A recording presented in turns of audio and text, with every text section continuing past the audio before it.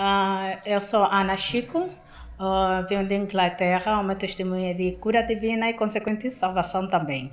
É, eu fui diagnosticada um câncer no, no peito, no, no seio esquerdo, e fui ao hospital, estou em, no princípio do ano passado, e o seio até já sangrava. Então disseram que eu tinha um câncer e queriam me fazer radioterapia.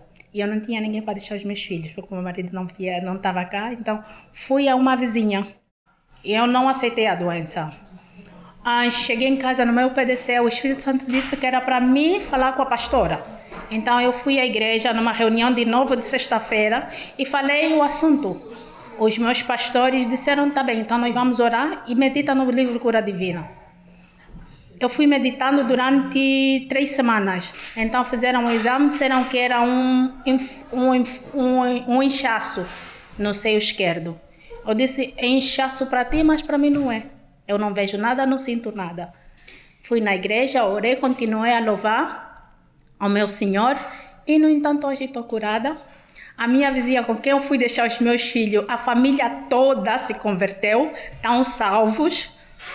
E, e foi maravilhoso. Eu estou aqui, estou curada e esta é a minha história.